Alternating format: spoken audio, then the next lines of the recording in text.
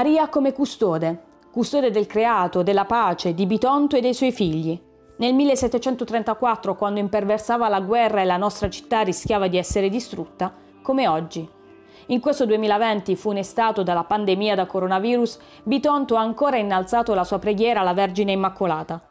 Il programma a prova di misure anti-Covid, modellato dal Comitato Feste Patronali, si è concluso con la messa solenne in cattedrale, celebrata da Monsignor Francesco Cacucci.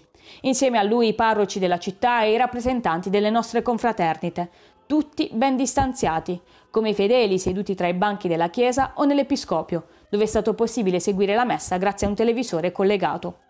Una cerimonia dunque più intima rispetto agli anni passati, ma comunque importante per onorare e invocare ancora la nostra patrona.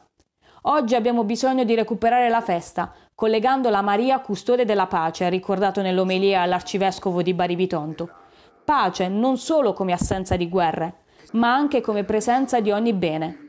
Per il vicario episcopale Don Gianni Giusto in questo periodo d'emergenza è anche necessario ringraziare la Vergine e il Signore per averci custodito.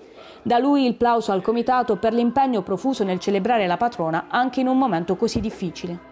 Apprezzato anche il supporto offerto dall'amministrazione, guidata da Michele Baticchio, che ha simbolicamente consegnato le chiavi della città a Maria Santissima Immacolata.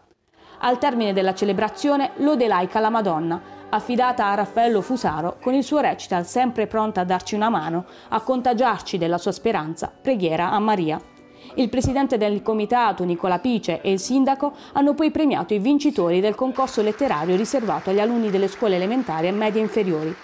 Primi classificati rispettivamente per la quinta della scuola primaria e per la prima e la seconda media sono stati Vincenzo Brattoli, Daniele De Ruvo e Simone Posa.